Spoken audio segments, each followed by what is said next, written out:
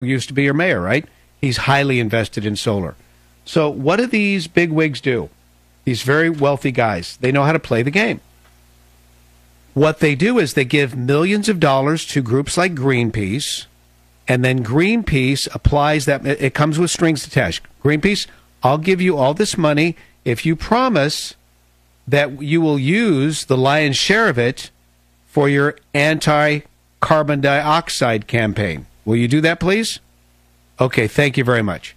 So now Greenpeace, Rainforest Action Network, you go right on down the line, the Sierra Club, they become the they become the spokespersons for these very wealthy guys who know that if they can get a PR campaign for people to go green, they'll make loads of money. That's what's happening. That's that's that's what's happening. Uh, interesting. Uh, this came out just a, a bit ago. Donald Trump has said no more Fox News. He won't go on Fox News. He doesn't think he's being treated fairly. No more Fox News. It's just amazing. This guy, I've never seen anything like this. Having been in media as long as I have, both radio side and TV side, and including, by the way, I'll just tell you, there was a time in my career early on when I graduated from the University of Missouri, and uh, I was a news director. So I was, you know, I ran a television newsroom. I was like 22 years old, the youngest guy managing a TV newsroom, at least within the ABC family.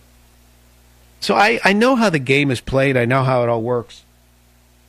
I've never seen anything like this. Generally speaking, if a show, a network show in particular, or even a local show for that matter, if they want you as a guest and you say, nah, I can give you a phone call, but I don't have time to come in, they're going to say, no, forget, we don't want it. Can you can you believe how Trump has been able to do this? He's so popular and so in demand that he rarely even goes in front of the cameras, except last night when he was on a late night with Colbert which is in New York City. and and by the way, he knocked it out of the park on that program. I will just tell you. But Trump is so huge that he can actually phone in for interviews even on the major Sunday shows. Nobody can get away with that except Donald Trump. His brand is huge. And even when he's calling in, he still owns the medium. The medium is the message. He wins every time. But now he said, screw it, I don't need your Fox News. I'm not even going to call in anymore because he believes he's being treated unfairly. Ben Carson was on Fox News today, and he was slamming the PC culture after his remarks regarding the fact that he would not support a Muslim president. Here he is. This is clip 16, guys. If you'd play it, please. I said I would support anyone if, uh, again, it seems to be hard for people to actually hear English and understand it.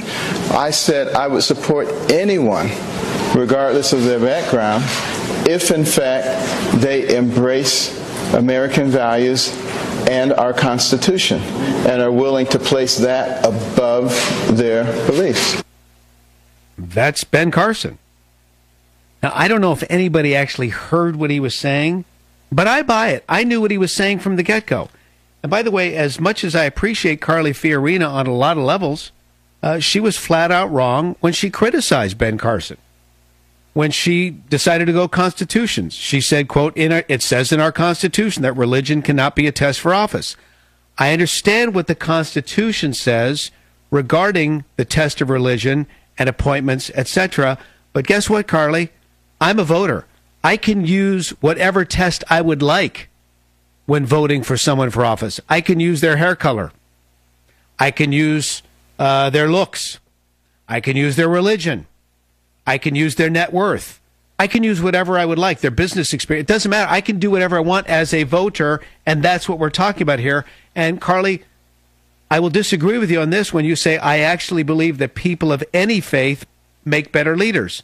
Well, come on now, let's define the faith because when I look around the world today, I'm seeing a lot of hell breaking loose from people who tell us with no un, with uh, no uncertainty they're members of the religion of peace. And I gave you the statistics early in the broadcast, and I can review them for you once again. Just last week, we had 289 jihad attacks worldwide. Just last week, we had 289, uh, excuse me, 28 jihad attacks last week. 289 people died from those attacks. 583 people were injured. Now, if you were to look any of those people in the eye and tell them they're not of a particular faith, guess what? They'll lop your head off. Okay, what about the Wiccan faith? You, you think that's a faith that uh, is good for us, Carly? I'm just asking the question. Come on now. Can we have a talk? Yes, we can. Let's go to Chris calling from Kansas, K I N A. You are on the Savage Nation. Thanks for checking in. Brian Sussman filling in. Good afternoon, Brian. The reason I'm calling today is I actually heard the audio on your program from that woman in North Jersey, and I can't believe what I'm, I'm hearing because I am originally from South Jersey, as is my wife. We moved here four years ago. But point in case, it is ridiculous. Why are they going to go and ask for a religious holiday when schools pretty much separated that ever since the 50s? It's been slowly phased out. And make a big statement like this. It's like they're drawing battle lines. Okay? Yeah. How many years now has this slowly creeped in? And we don't have our commander in chief to thank. I mean, for Pete's sake, she let a Ebola come into the country. What the heck's a, a few hundred thousand Muslims going to do? They're Chris, playing. There is there is a line being drawn in the sand, and, and here's what we have to remember. You know, we're we're from a Western mindset. You and I live in the United States of America. We're geared to think quarterly, right? I mean, look at corporate earnings. If you work for a business, you're thinking corporate. I mean, you're thinking uh, quarters. You're thinking fiscal year. We're we're very short term in terms of our thinking. However, that part of the world thinks long term. They're not thinking the next quarter. They're not even thinking the next year. They're thinking the next quarter century. They're thinking the next 250 years. And this is how this dangerous ideology has been able to slowly spread. It's through incredible patience, the likes of which it's very difficult for us to wrap our minds around. You understand what I'm saying, Chris? Oh, no doubt about it, indeed. And the fact of the matter remains is, if it's such a religion of peace, why isn't in the Quran that is pretty much their daily instructions for life? I mean, complete from how you worship to how you see people, and if they do something that's wrong, you. Mean, if your own son or daughter does something wrong, you can kill them. It, and can I just tell you that that happens in the United States? These honor killings, uh, these honor killings, and the stories are buried. Don't want to talk about. Don't talk. It's like the three guys up in Maine. I talked about this earlier on the Savage Nation, uh, but the three Somalis in Maine who absolutely butchered this poor Christian guy in Portland, Maine, earlier this month. Like, okay, where where was that story? I didn't see it at USA Today. I didn't see it at NBC, M, uh, ABC, CBS, CNN, BS, Fox BS. I didn't see it anywhere. No, and the mainstream media won't cover it because they're too worried about the Pope and His Holiness visiting them. Well, that certainly is an interesting story, but there are so many others that are critical to the critical to our, our future and our, our security as a nation. And I thank you for your call. In fact, let's go to. Oh boy, let's see. Oh, that caller dropped. That's okay. We can continue. Uh, the bottom line is, folks, we have been placed in a situation by this man in the White House who told us he was going to fundamentally transform this nation, and guess what? He is.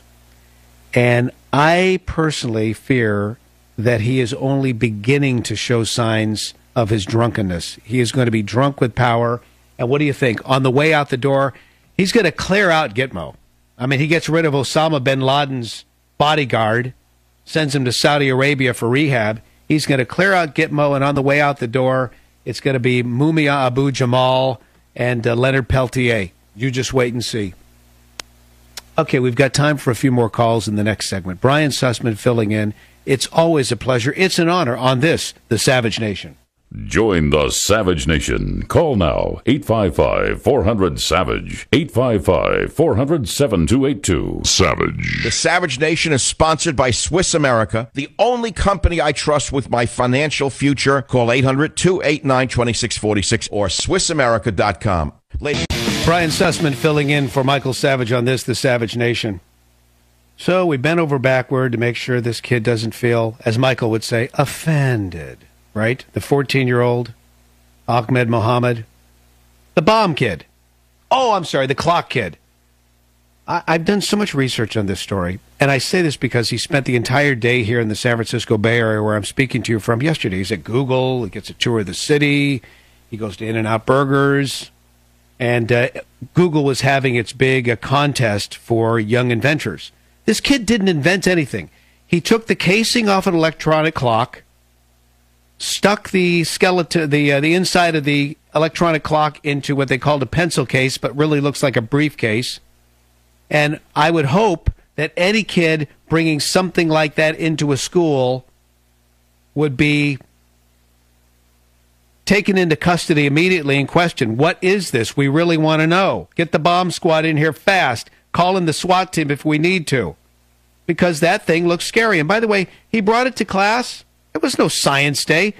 This kid didn't invent anything. He didn't build anything other than something that looked like a bomb. I believe he was put up to it by his, his activist father. And yet he's invited to Google. Oh, he's just a great young man. This is the kind of person we want working for us. We're so politically correct. Daniel's calling from WVNN in Alabama. Daniel, you're on the Savage Nation. Quickly, please. Yes, go ahead. You're on the air. Yeah, I just want to mention that uh, you mentioned um, Trump and his, his, uh, his statement. I just feel like, uh, you know, you guys just, we're really looking at him. Daniel, WVNN, and I'm sure we cut that off in time. Thank you, gentlemen. Well, hate to head, hate, hate to end it on a, a rough note like that, but occasionally these things happen. I will tell you, my friends, what you need to do is go to michaelsavage.com, home of the Savage Nation, Borders, Language, Culture. Government Zero is the book that you can pre order right away. Because as Michael is going to warn us, no borders, no language, no culture, that's the death of this nation.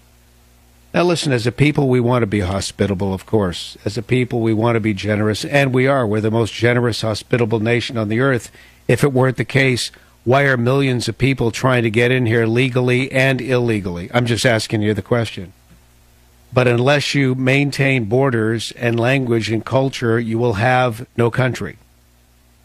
And then we'll be placed in the hands of a despot, a dictator, a strongman who will take all of those values we hold so dear and all of our rights given to us by God and trample them asunder.